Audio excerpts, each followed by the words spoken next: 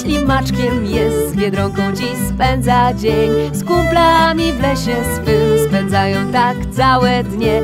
Basia Biedronką jest, ślimaczkiem dziś bawi się. A każdy nowy dzień ciekawą przygodą jest. Czego w ten piękny dzień dziś tu nauczymy się? Święty Mikołaj. Był śnieżny poranek. Biedronka Basia odwróciła się do ślimaka Bartka i powiedziała Bartku, dziś odwiedzi nas święty Mikołaj. Naprawdę? Zdziwił się Bartek. On zostawia prezenty w butach grzecznych dzieci. Nie zapomnij wystawić ich za okno. Wieczorem Bartek wyczyścił swoje buty i ustawił na parapecie. Był tak szczęśliwy, gdy kładł się do łóżka, że nie mógł zasnąć. Gapił się w niebo, by zobaczyć Mikołaja i jego renifery. Następnego dnia Basia wstała bardzo wcześnie. Od razu podbiegła do okna. Jej buty były pełne prezentów. Znalazła kolorowe kredki i czerwone jabłko. Bartek też podbiegł do okna. Był bardzo szczęśliwy.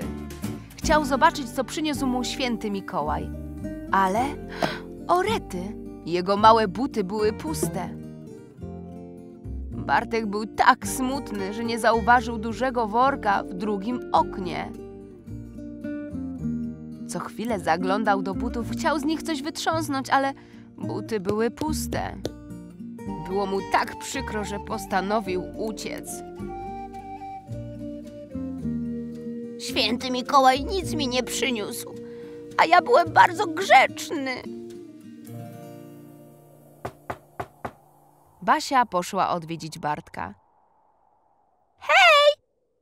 Zobacz, co dostałam od Mikołaja. Basia zaczęła się martwić.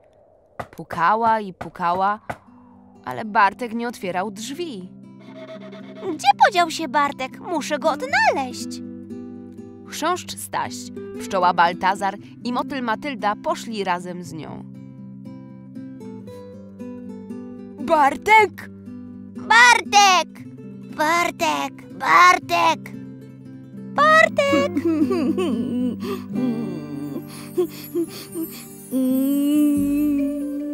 Przyjaciele odnaleźli Bartka, gdy zapadł zmrok. Ślimak siedział na pieńku i płakał. Basia podbiegła do niego. Co się stało, Bartku? Czemu płaczesz? Święty Mikołaj nic mi nie przyniósł, a ja byłem grzecznym ślimakiem. Nie wygłupiaj się. Na pewno dostałeś prezent. Basia pocieszała przyjaciela. Może był tak duży, że nie zmieścił się w bucie, więc Mikołaj położył go gdzie indziej. Nie, nic mi nie przyniósł. Wydaje mi się, że święty Mikołaj nie istnieje. Właśnie wtedy na niebie pojawiły się sanie. Ciągnęły je dwa renifery. Ho, ho, ho! Mikołaj pomachał do dzieci.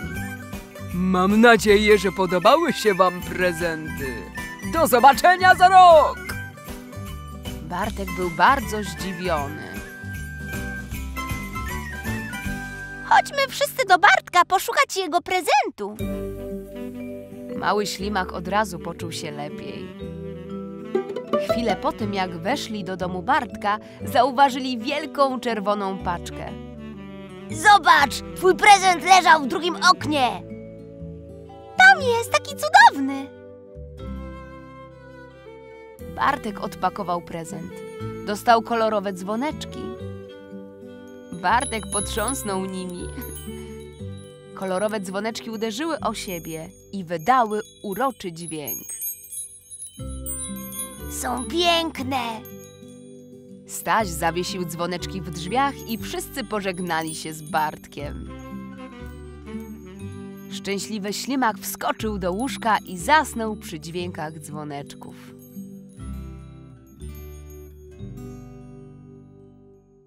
Czego w ten piękny dzień dziś tu nauczymy się?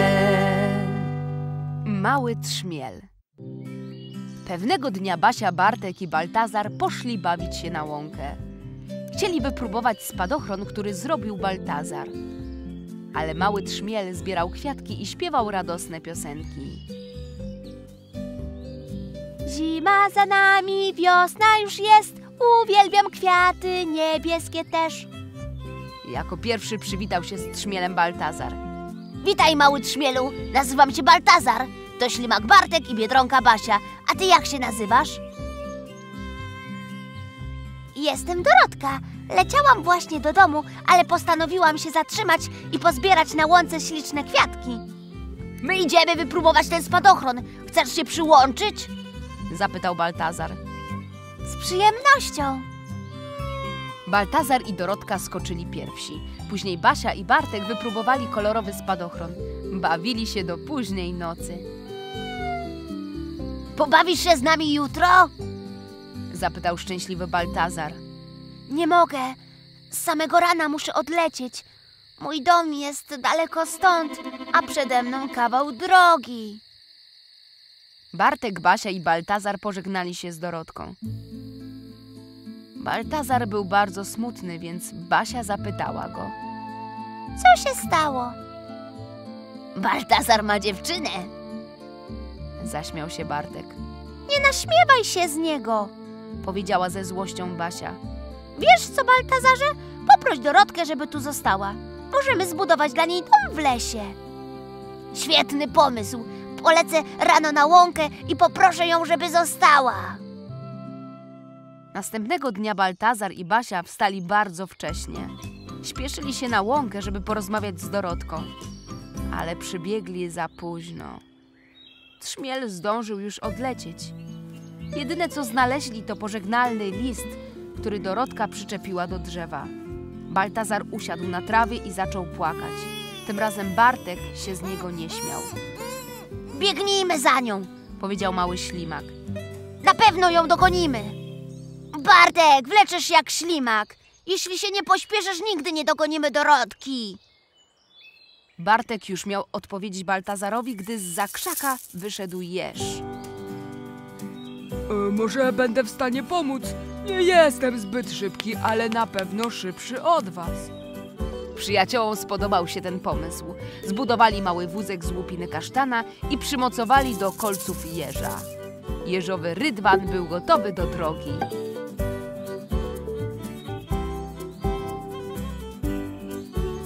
Odpocznijmy trochę. Zaproponowała Basia, gdy zrobiło się ciemno. Ruszymy jutro z samego rana. Baltazar znowu zaczął płakać. Nigdy jej nie odnajdziemy. Czuję coś słodkiego. To kwiat bzu. Bzu? Zdziwiła się Basia. Ale tutaj nie rosną krzewy bzu. Rozejrzyjmy się. Wrócić i zamieszkać z nami? Zbudowaliśmy ci mały domek na drzewie. Nie musiałabyś wracać do siebie. Będziemy bardzo szczęśliwi, jeśli z nami zamieszkasz. To wspaniały pomysł. Będzie nam bardzo miło. Zgodnie przyznali. Dziękuję. Bardzo się cieszę, że mogę z wami zamieszkać. Odpowiedziała Dorotka. Była szczęśliwa. Pokonaliście daleką drogę, żeby mnie znaleźć. Jesteście tacy mili. Wszyscy wskoczyli do jeżowego rydwanu i pojechali z powrotem na łąkę. Już następnego dnia rozpoczęli budowę. Zbudowali dom dla Dorotki w pobliżu bzów. Gdy dom był gotowy, urządzili duże przyjęcie.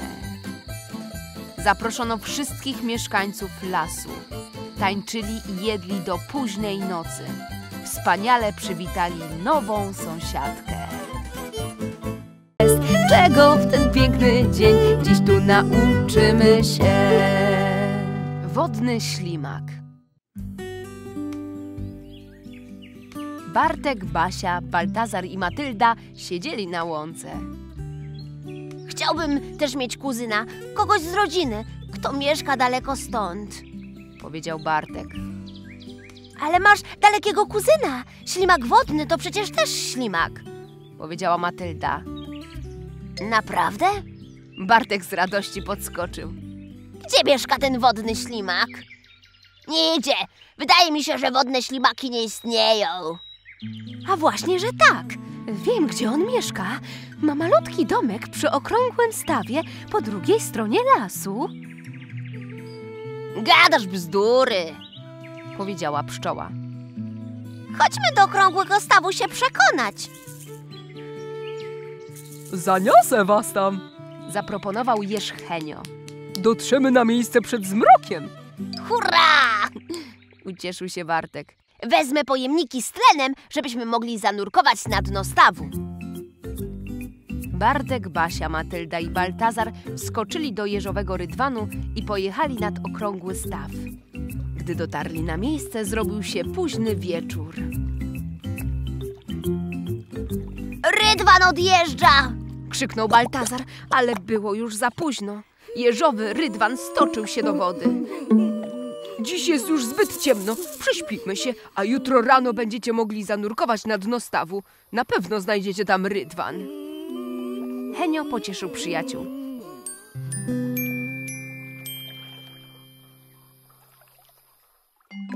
Następnego dnia Bartek obudził się z samego rana. Zobaczcie, lilia wodna rozłożyła płatki. Ktoś stoi na liściu i macha do nas. Kim jesteś? Witajcie, jestem ślimak Szymon. Mieszkam na dnie okrągłego stawu. Widzisz, Baltazarze, wodne ślimaki naprawdę istnieją. Mam swojego kuzyna. Ślimak Szymon nie rozumie, dlaczego Bartek był tak szczęśliwy. Ale wtedy Basia opowiedziała mu, po co przyjechali. Tak się cieszę, że cię poznałem, kuzynie, powiedział wodny ślimak. Szymon, pomożesz nam odnaleźć rydwan, który stoczył się do wody? zapytała Matylda. Z przyjemnością, Chodźcie za mną. odpowiedział wodny ślimak. Przyjaciele założyli kostiumy kąpielowe i zanurkowali w okrągłym stawie. Tutaj mieszkam, z dumą wyjaśnia Szymon. Przyjaciele usłyszeli straszny syk.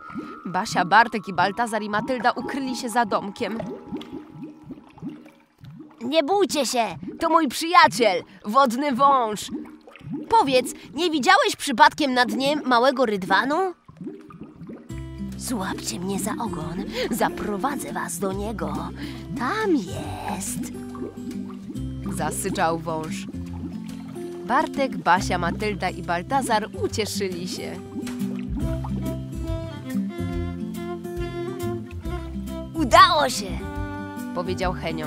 Z radością powitał swoich małych przyjaciół. Wybierzmy się na wycieczkę po stawie. Zasugerował Szymon. Wszyscy usiedli na liściu lilii, a Szymon zaczął wiosłować.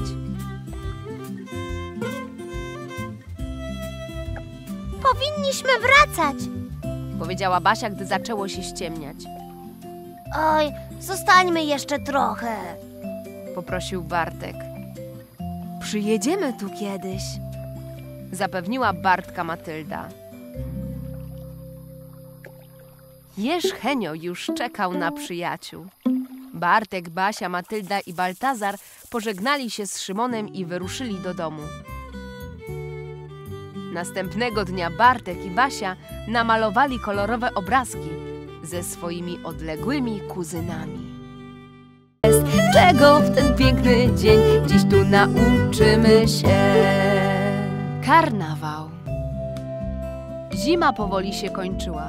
Leśni przyjaciele siedzieli w domku Basi. Powinniśmy zacząć przygotowania do karnawału. Powiedziała Matylda. Za kogo się przebierzesz? Zapytał Bartek. To tajemnica. Odpowiedziała Matylda. Nie mówcie nikomu o swoich kostiumach. To będzie niespodzianka w czasie balu karnawałowego. Masz rację. Chodźmy do domów przygotować przebrania. Mamy tylko kilka dni. Powiedział Baltazar. Bartek zdecydował się bardzo szybko. Postanowił przebrać się za muchomora. Z białego prześcieradła przygotował pelerynę, a z miski kapelusz. Namalował na niej białe kropki. Basia zrobiła kwiatowy kostium. Z zielonego papieru wycięła liście i przyszyła je na zielony koc. To była jej suknia. Z fioletowego papieru wycięła płatki. Baltazar i Ania pracowali razem. Baltazar przebrał się za diabła, a Ania za anioła. Robert, siedząc w swoim hamaku, zaczął przygotowywać kostium lwa. W nocy, poprzedzającej karnawał, światła świeciły się w każdym leśnym domku. Wszyscy pracowali nad kostiumami i przygotowywali się do jutrzejszego święta. Ważny dzień w końcu nadszedł. Przyjaciele postanowili urządzić bal karnawałowy u Stasia. Wszyscy ciężko pracowali, przystrajając dom chrząszcza kolorowymi tasiemkami i balonami. W tym samym czasie Róża przygotowywała u siebie pyszne ciasta. Pomagali jej Basia, Laura i Edek. W końcu nadszedł czas na założenie kostiumów. Staś przebrał się za kość do gry i czekał na przyjaciół. Jako pierwsi przyszli Bartek i Basia. Ślimak przebrał się za muchomora, a Biedronka za kwiatek. Później przyszedł Baltazar w stroju diabła. Ania przebrana za anioła, a Matylda za kraba. Laura wyglądała jak kaktus. Robert przebrał się za lwa. Edek był kucharzem, a Róża kiścią winogron. Jej sukienka była zrobiona z balonów. Świetlik przebrał się za kredkę, a pchła za ośmiornicę. Szymon przebrał się za żołnierza, a jedna z mrówek była naleśnikiem.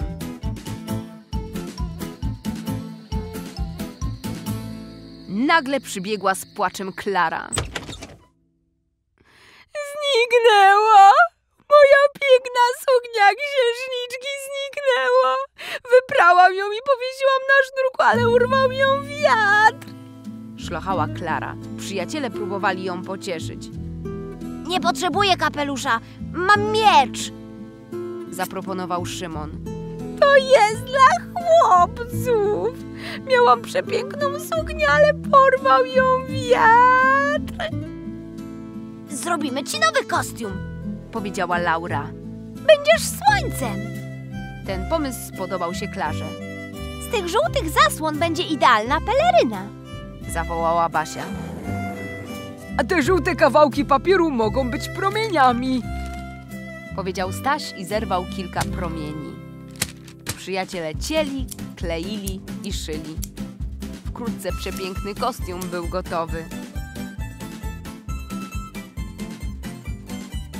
Pożyczę ci moją latarnię. Kredka jej nie potrzebuje. Zaśmiał się świetlik. Dziękuję. Powiedziała Klara. Była tak szczęśliwa, że aż się zarumieniła. Leśni przyjaciele tańczyli i śpiewali całą noc. Zgodnie uznali, że Klara miała najfajniejszy kostium. Czy może być coś bardziej wyjątkowego niż słońce świecące w nocy? Czego w ten piękny dzień dziś tu nauczymy się? Piernik. Nastał grudzień, las pokryła gruba warstwa śniegu. Bartek i Basia gawędzili w domu Biedronki. A może upieczemy piernikowe ciasteczka? Zaproponowała Basia z szerokim uśmiechem na ustach. Bartek i Basia zabrali się do pracy w kuchni. Krzątali się pośród przypraw i mąki.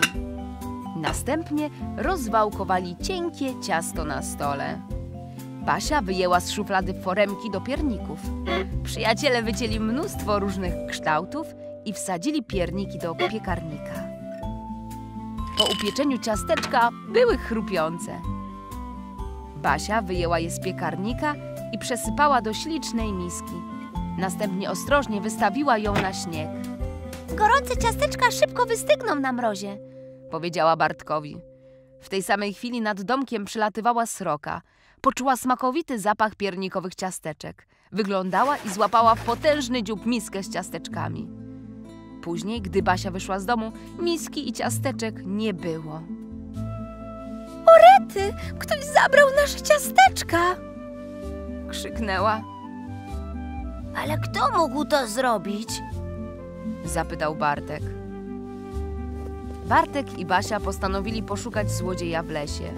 Jako pierwszą spotkali Irenkę. Cześć, Irenko. Ktoś zabrał moją żółtą miskę pełną piernikowych ciasteczek. Nie wiesz, kto to zrobił? Zapytała Basia. Wiem, to była sroka. Poleciała w tamtą stronę. Przyjaciele szli, aż spotkali gąsienicę. Cześć, gąsienico. Sroka zabrała moją żółtą miskę wypełnioną piernikowymi ciasteczkami. Widziałaś, w którą stronę poleciała? Gąsienica wskazała kierunek. Chwilę później Bartek i Basia zauważyli Roberta i Edka budujących bałwana. Widzieliście srokę? Zabrała moją miskę i nasze pierniki. Poskarżyła się Basia. E, tak, widzieliśmy ją. E, poleciała nad strumień. Odpowiedział Żuk. Zobacz, Basiu, okruszki z ciasteczek. Sroka musiała tędy lecieć. Krzyknął nagle Bartek. Jeśli pójdziemy za tym tropem, dotrzemy do gniazda sroki. Zaproponowała Basia. Przyjaciele szli za okruszkami i wkrótce dotarli do gniazda sroki i smakowitego zapachu piernikowych ciasteczek. Bartek i Basia zapukali do drzwi. Czy to ty zabrałaś miskę wypełnioną świeżymi ciasteczkami? Zapytała Basia, gdy tylko sroka otworzyła drzwi. Tak, to ja.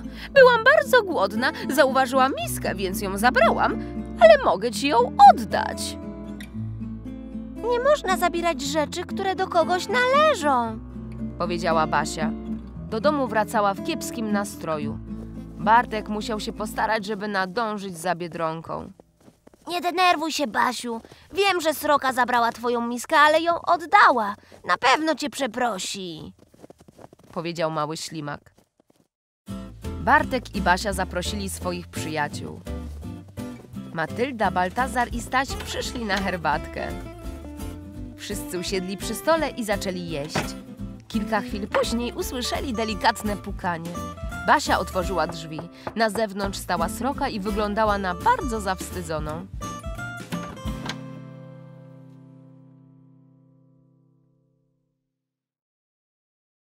Przyniosłam ci syrop z dzikiej róży. Przyjmij go jako przeprosinę za to, że zabrałam twoje ciasteczka. Powiedziała sroka. A może zostaniesz z nami i zjesz kilka ciastek? Przy naszym stole nie zabraknie miejsca. To bardzo ucieszyło srokę. Przyjaciele siedząc przy stole zajadali przepyszne ciasteczka i popijali różany syrop. Gawędzili i śmiali się aż do późnej nocy. Czego w ten piękny dzień dziś tu nauczymy się? Teatrzyk kukiełkowy. Pewnego słonecznego poranka Bartek mocno zapukał do drzwi Basi. Dziś występ teatrzyku kukiełkowego. Chodźmy powiedzieć o tym Matyldzie Jedkowi. Bartek i Basia dotarli najpierw do domu Matyldy. Obudź się, Matyldo. Pchły przygotowują teatrzyk kukiełkowy. Królewnę Śnieżkę. Mali przyjaciele następnie zatrzymali się przed domkiem Edka. Edek, wybierasz się z nami na przedstawienie? Ale Edek nie otworzył drzwi. Edek, szybciej, bo się spóźnimy. Zawołał Bartek, ale odpowiedzi nadal nie było. Matylda delikatnie nacisnęła klamkę i wsunęła głowę do środka. Nadal jesteś w piżamie? Marudził Bartek. Ubieraj się i to szybko. Nigdzie nie idę. Mam pogryziony cały brzuszek, to strasznie spędzi. Szlochał Edek. Mogę zerknąć? Zapytała Basia. Nikt cię nie pogryzł. To ospa wietrzna. Mała Biedronka powiedziała swojemu choremu przyjacielowi. Nie ma się czego bać. Ja już chorowałam na ospę i cała byłam w kropkach. Polecę po doktora Sowę. Powiedziała Basia. On będzie wiedział, co zrobić. Wkrótce przybył doktor Sowa i dobrze przyjrzał się Edkowi. Hmm, to zdecydowanie ospa wietrzna. A ospa to choroba zakaźna. Obawiam się, że nie pójdziesz na przedstawienie. Zakaźna? Czy to znaczy, że Bartek, Basia i Matylda mogą się ode mnie zarazić? Nie martw się. Na ospę wietrzną choruje się tylko raz w życiu. Twoi przyjaciele mieli ją w zeszłym roku. Nie możesz się drapać. Będą kolejne przedstawienia teatru kukiełkowego. Zapewnił przyjaciela Bartek. Nie martw się, wkrótce wyzdrowiejesz. Uśmiechnęła się Basia. Basia, Bartek i Matylda pożegnali się z przyjacielem i szybko poszli zobaczyć teatrzyk. Przedstawienie zaczynało się już na łące. Aktorami było pięć pcheł. Wkrótce kurtyna się rozsunęła i zaczęło się przedstawienie.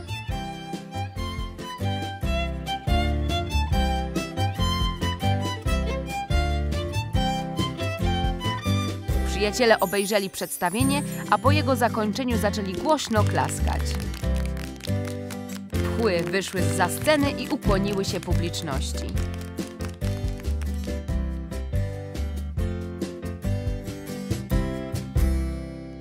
Szkoda, że Edek nie mógł iść z nami. Powiedziała ze smutkiem Basia. Przedstawienie na pewno by mu się spodobało. A może przygotujemy nasze dla niego? Nagle zaproponowała Basia. Basia, to świetny pomysł. Powiedziała Matylda. Przyjaciele szybko zabrali się za przygotowania. Matylda narysowała krasnale, Basia królewnę Śnieżkę i księcia, a Bartek straszną królową. Następnie wycięli postacie i przykleili je do patyków. Gdy byli już gotowi, poszli do domu Edka i zapukali w okno. Mały żuk otworzył je i wyjrzał na zewnątrz. Czas zacząć przedstawienie. Ogłosił Bartek i przyjaciele zaczęli występ.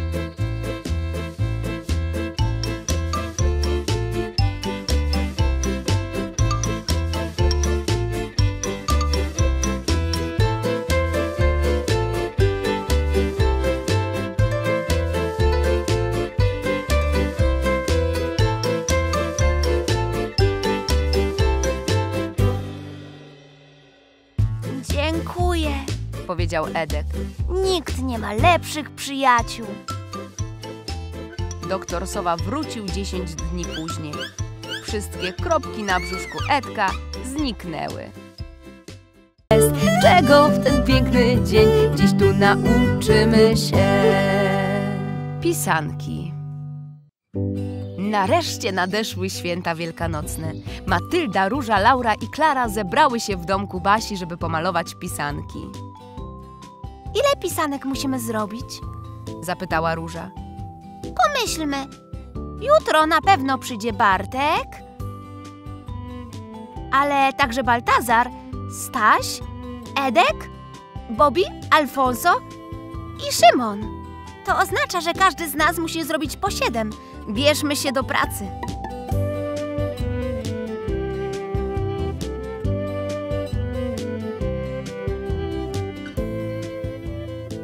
Wyglądają wspaniale. Chłopcom na pewno się spodobają. Powiedziała Matylda. Pora wracać do domu. Muszę jutro wcześnie wstać, żeby przygotować chłopcom naleśniki. Dodała Matylda. Ja upiekę babeczki, Powiedziała Róża. a ja jabłecznik, dodała Basia. Następnego dnia dziewczęta wstały wcześnie rano. Matylda od razu poszła do kuchni. Założyła fartuszek i przygotowała ciasto na naleśniki. Róża też założyła fartuszek i zaczęła ugniatać ciasto na bułeczki. Basia rozwałkowała ciasto, a Klara przygotowywała biszkopty. Laura wstała bardzo szczęśliwa. Chłopcy nigdy nie wstają zbyt wcześnie. Mam mnóstwo czasu, żeby przygotować szarlotkę. Postawiła na stole dużą miskę pełną jabłek. Orety. Jabłka rozsypały się na stole i zrzuciły na podłogę talerzyk z pisankami. wszystkie się zniszczyły. Moje pisanki! Co ja teraz zrobię? Co dam gościom? Laura pobiegła prosto do domu małej biedronki. Basia, zniszczyłam wszystkie pisanki, pomóż mi. Nie mam czasu, właśnie piekę ciasto, ale mam dwa niepomalowane jajka. Jeśli szybko je udekorujesz, wyschną przed przyjściem chłopców. Róża, moje pisanki się potrzaskały. Możesz mi pomóc? Jestem bardzo zajęta, ale możesz wziąć trzy białe jajka. Jeśli się pośpieszysz, zdążysz je pomalować. Matyldo, pomocy! Muszę od nowa pomalować jajka. Wszystkie pisanki się potrzaskały. Wszystkie? Przykro mi, ale nie mogę ci teraz pomóc, bo spalą się moje naleśniki, ale możesz wziąć te dwa jajka, których nie pomalowałam. Klaro, stało się coś strasznego. Zniszczyłam wszystkie pisanki, które wczoraj przygotowałam. Proszę pomóż mi, bo nie zdążę pomalować siedmiu jajek. Laura poskarżyła się swojej przyjaciółce. Wiem, kto może ci pomóc. Chodź ze mną. Przyjaciółki pobiegły prosto do jaskini. Zaspany pająk wyszedł przed swój dom. E, pomożesz nam, pająku? Zapytała Klara. Pisanki Laury się potrzaskały. Musimy zrobić nowe, ale mamy mało czasu. Chłopcy wkrótce ją odwiedzą. Skoro muszę, Burchnął pająk. Dziękuję. Jesteś bardzo miły. Laura przygotowała farby i pędzelki. Razem zaczęli malować jajka. Pająk malował trzy jednocześnie. Są gotowe. Powiedział pająk z szerokim uśmiechem na ustach. Laura podziękowała pająkowi za pomoc i ułożyła pisanki na talerzu. Wkrótce ktoś zapukał do jej drzwi. Otworzyła je i zobaczyła siedmiu chłopców. Wesołych świąt, Lauro. Chłopcy weszli do domku Laury. Każdy z nich wybrał sobie kolorową pisankę. Obawiam się, że nie mam dla was ciasta. Powiedziała ze smutkiem Laura i opowiedziała chłopcom, co się jej przytrafiło. Nie przejmuj się. Odpowiedzieli chłopcy. Zjedliśmy jabłecznik u Basi, bułeczki u Róży, naleśniki u Laury i biszkopty u Klary. Nasze brzuchy są pełne. Czego w ten piękny dzień dziś tu nauczymy się? Przyjaciele. Był piękny, słoneczny dzień. Biedronka Basia przysiadła na oknie. Pora zjeść śniadanie, Pomyślała. a później wybiorę się na spacer po łące. Postanowiła zabrać swoją taczkę. Ciekawe, czy będę mogła przewieźć taczką coś ciekawego. Zapytała samą siebie. Ty, Powiedziała Basia. jaka wspaniała wiśnia! Idealna na obiad! Próbowała włożyć wiśnie do taczki, ale była zbyt ciężka dla małej biedronki. Ale wtedy pojawił się Bartek Ślimak. Skąd ten smutek, Biedronko? Zapytał Bartek. Nie mogę włożyć wiśni do taczki. Odpowiedziała Basia. Nie płacz, pomogę ci. Powiedział Bartek uśmiechając się. Oboje bez problemu unieśli wiśnie. Basia pojechała prosto do domu ze słodkim owocem. Teraz to Bartek wyglądał na smutnego.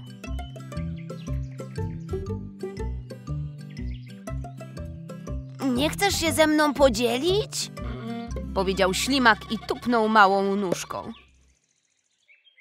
Pomogłem ci. Basia zadrżała. Nie dostaniesz jej. Jest moja. Bartek był bardzo zdenerwowany. Oboje zaczęli się kłócić nad wiśnią. Jest moja. Jest moja. Krzyczała Basia. To niesprawiedliwe. Odpowiadał Bartek. Szarpali i ciągnęli wiśnie, aż pękła na dwie połówki. Bartek i Basia klapnęli na ziemię. Byli bardzo zdziwieni, gdy z wiśni wyczołgał się zielony robak. Co zrobiliście z moją wiśnią? Narzekał. Ta wiśnia była moim domem. Ale nie martwcie się. Powiedział robak. Wiem, gdzie możemy ich znaleźć całe mnóstwo. Wy się najecie, a ja znajdę sobie nowy dom. Basia pomogła robakowi wdrapać się do taczki i wszyscy razem poszli szukać wiśniowego drzewa. Gdy dotarli na miejsce, zauważyli, że ziemia wokół drzewa usłana jest dojrzałymi czerwonymi owocami. Bartek i Basia rzucili się na nie. Robak szybko zasnął, gdy Bartek i Basia pałaszowali pyszne wiśnie. Czas szybko mijał.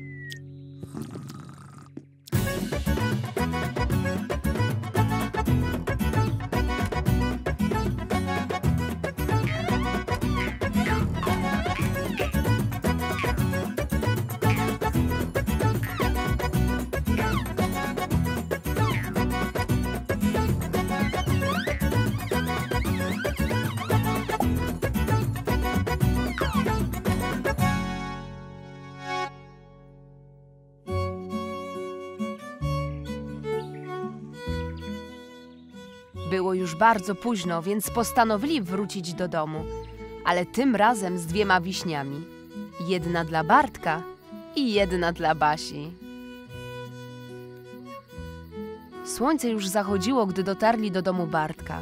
Oboje wyjęli z taczki jego wiśnie i pożegnali się. Bartek wszedł do środka i przez okno pomachał Basi. Po dniu pełnym emocji Bartek szybko zasnął. Ślimak śnił o zabawie z Basią.